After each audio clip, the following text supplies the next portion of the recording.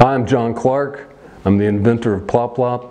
I'm an artist and a fan of creativity and surrealism and automatic techniques. I'll be having a show at Healing Arts Indy, opens March 15th.